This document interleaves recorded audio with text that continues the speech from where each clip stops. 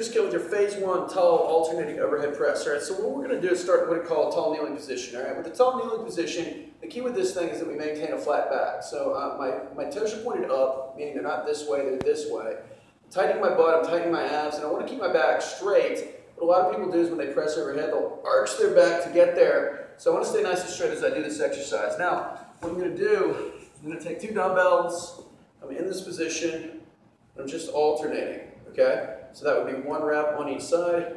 It'd be two reps on each side. Just like this. And you'll notice as I do this, I'm not shrugging my shoulder to get the weight overhead. I'm trying to hit my shoulders versus my arm or versus my neck. Just like this. All right, now for phase two, very similar movement. Um, the only difference here is that we're going to press overhead in a standing position. Really, the same rules here apply. Want to maintain butt abs are tight, flat back. Don't want to get heavy weight or weight so heavy that it causes me to arch my back. And again, we want to press with control.